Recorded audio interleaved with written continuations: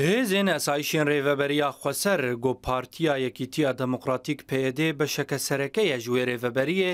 دریا داخوایانیە گێرە ئەنجومەنا نیشتمانیا کورد لە سووریە ئەنە کەسێ ئاگادار کرد گۆ ئەوێ دەبەر هەر بویەرەکێدا بەرپرس بن ئەگەر ئیرۆ دەرکەون خۆپێشاندانان لە باژار و باژارۆکن ڕۆژاوایە کوردستانی دەستەیە هەندرین یا گۆ ئەسایش گرێدایی وێیە د داخویانیا خو د ګوت ګوروش نه پر هستیاره او جر کې همو عالیانه ګو پاراستنا آشتی او آرامی بکن هر وها رزداری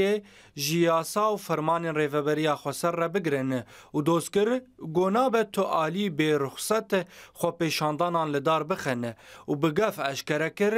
چې کسې ګودر کې خو پېښاندانان د راستي دادګه او جزایان به û li gorî gotina alîgirên enekesê ev gefa esayîşê tenê rejîma behs tîne bîra mirovên rojava. Daxuyaniya rêveberiyê di tûjbûna xwe de destnîşan kir gohin alî dixwazin tevlehevî û aloziyê çêbikin û mebesta wan ew e enekesê û partiyên wê. هێژایە بیرخستنەیە گۆ ئەنە کەسێ بەریا چەند ڕۆژان بانگ لە ئالیگرێن خۆکرد داگۆ لە سەرانسەری باژار و باژارۆکن ڕۆژاوای کوردستانی خۆپێشاندانان لە دژی کریارن پارتیایەکیتییا دەموکراتیک